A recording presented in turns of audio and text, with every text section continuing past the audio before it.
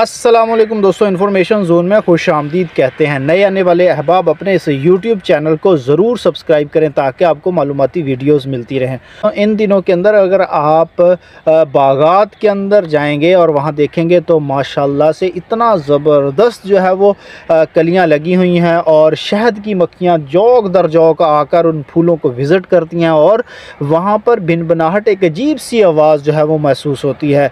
दोस्तों, बताने का मकसद ये है, इन दिनों में में कुछ लोग बाईफेंथ्रीन का इस्तेमाल कर रहे हैं, बाद लोग फंजीसाइड का इस्तेमाल कर रहे हैं। तो दोस्तों, उनसे गुजारिश है कि जो सिट्रसिल्ला की स्प्रे थी, वो आज से आपने कम अज़ कम पंद्रह दिन पहले करनी चाहिए थी, क्योंकि सिट्रसिल्ला जैसे ही जो है वो नमोदार होता है, बाद में कंट्रोल से बाहर हो जाता है।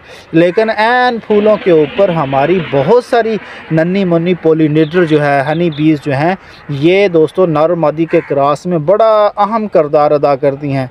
लेकिन इस वक्त अगर आप स्प्रे करते हैं तो ये नन्नी जान जो है, ये सारी की सारी उस स्प्रे के ज़द में आती हैं और बहुत सारी मक्खियाँ हलाक हो जाती हैं। तो लिहाजा कोशिश कीजिएगा दोस्तों कि अपनी स्प्रे को बर वक्त कीजिएगा। और हाँ इन दिनों में सिट्रस सिल्ले का काफ़ी ज़्यादा अटैक देखे में नज़र आ रहा है तो उसके लिए आप लोगों ने बाईफेंथ्रीन भी इस्तेमाल कर सकते हैं। उसके लिए आप लोग एसीफेट का भी इस्तेमाल कुछ लोग कर रहे हैं। इसके लिए आप लोग, बाज़ लोग जो है वो नाइटन पायरम और उसके साथ एबामिक्टन का मिक्सचर कर रहे हैं। बाज़ लोग एबामेक्टन और बाईफेंथ्रीन का मिक्सचर कर रहे हैं और बाज़ लोग जो है नाइटन पायरम और क्लोरफिनापायर का मिक्सचर इस्तेमाल कर रहे हैं। तो मुख्तलिफ़ किस्म की अद्वियात are available in the market but you have to choose the right time and dose and you have to save your beneficial organisms हमने अपनी शहद की मक्खियों को भी बचाना है। तो दोस्तों, कोशिश करें। अगर तो ई एल लेवल से कम है तेला, यानी कि सिट्रसिल्ला तो आप कम से कम दवाई का इस्तेमाल करें। लेकिन अगर नागुजीर है तो फिर इन अद्वियात में से कोई भी मुकर्रा मकदार के साथ फ़ी हंड्रेड लीटर वाटर के अंदर इस्तेमाल कर सकते हैं।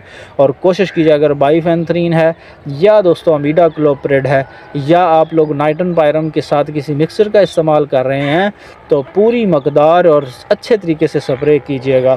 तो हम याद रखें सब्सक्राइब कीजिएगा अपने इस चैनल को। इंशाल्लाह फिर वीडियो में मिलते हैं। अल्लाह हाफिज़।